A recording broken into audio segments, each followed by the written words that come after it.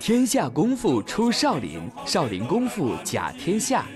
每年都会有大量的外国朋友来少林寺学习中国功夫。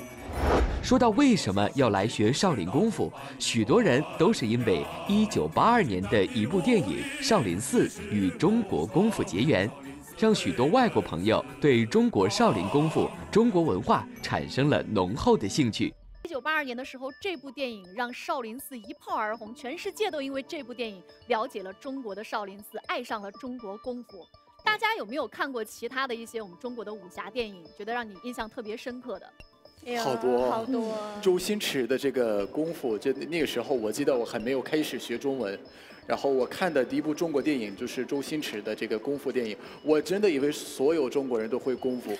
那个时候，我以为所有中国人都会飞，然后因为因为是这样的。对，我以为就会都会飞。我认为好多人对功夫这个方面，还有少林寺等等，他们就会有一些刻板印象。嗯，对我来说，功夫它是一种哲学。就是无论是李小龙还是所有的那些功夫大师，他们都是很有想法的。中国人都会飞这个事儿肯定不是真的，但我知道中国人心中都有一个武侠梦，所以中国人心中都有一个侠肝义胆的英雄气，这就是你为什么看到很多中国英雄的原因。